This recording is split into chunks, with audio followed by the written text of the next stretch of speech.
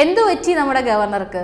സർക്കാരുമായുള്ള യുദ്ധം അവസാനിപ്പിക്കാനുള്ള ഒരുക്കത്തിലാണെന്ന് തോന്നുന്നത്. സംസ്ഥാന സർക്കാരുമായി പോരാട്ടത്തിന് ഇപ്പോൾ താല്പര്യമില്ലെന്നാണ് ഗവർണർ ആരിഫ് മുഹമ്മദ് ഖാൻ പറയുന്നത്.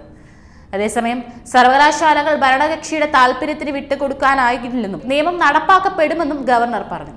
ഒരു മന്ത്രിയെ ആ സ്ഥാനത്ത് നിന്ന് നീക്കാനുള്ള അധികാരം തനിക്കില്ലെന്ന് ധനമന്ത്രി കെ എൻ ബാലഗോപാലിൽ പ്രീതി നഷ്ടപ്പെട്ടതായുള്ള ഗവർണറുടെ ട്വീറ്റ് സംബന്ധിച്ചുള്ള ചോദ്യത്തിന് മറുപടിയായി അദ്ദേഹം പറഞ്ഞു. യു പിയിൽ ജനിച്ച ഒരാൾക്ക് കേരളത്തിലെ വിദ്യാഭ്യാസ സംവിധാനത്തെക്കുറിച്ച് എങ്ങനെ അറിയാനാണെന്നാണ് മന്ത്രി പറഞ്ഞത്. പ്രാദേശിക വാദം പറഞ്ഞ് പ്രകോപനം ഉണ്ടാക്കുകയാണ് അദ്ദേഹം ചെയ്തത്. രാജ്യത്തിന്റെ ഐക്യത്തെയാണ് ചോദ്യം ചെയ്തത്. തനിക്ക് മന്ത്രിയെ ആ സ്ഥാനത്ത് നീക്കാനുള്ള അധികാരമില്ല.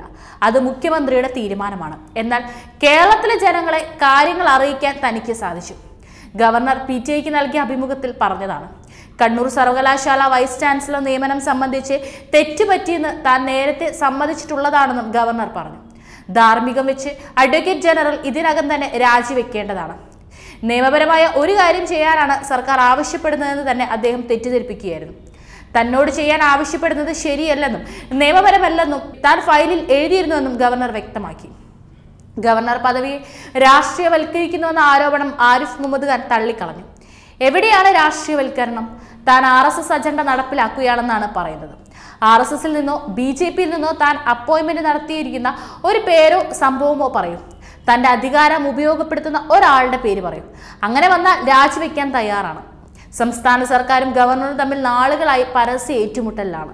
യൂണിവേഴ്സിറ്റികളിലെ വൈസ് ചാൻസലർ നിയമനങ്ങളുമായി ബന്ധപ്പെട്ടാണ് പോര് രൂക്ഷമായത്. അതിനിടെ മന്ത്രിമാരുടെ പേഴ്സണൽ സ്റ്റാഫ് നിയമനമാണ് താൻ ഇനി ഏറ്റെടുക്കാൻ പോകുന്ന വിഷയമെന്ന് വ്യക്തമാക്കി ഗവർണർ വീണ്ടും രംഗത്ത് വന്നിരിക്കുകയാണ്. കഴിഞ്ഞ ദിവസം ദില്ലിയിൽ മാധ്യമപ്രവർത്തകരോട് സംസാരിക്കുകയാണ് ഗവർണർ ഇക്കാര്യം വ്യക്തമാക്കിയത്. ഈ വിഷയം ദേശീയ തലത്തിൽ ഉന്നയിക്കുമെന്നും കോടതിയിലെത്തിയാൽ നടപടി ഉണ്ടാകുമെന്നും ഉറപ്പാണെന്നും ഗവർണർ പറഞ്ഞു.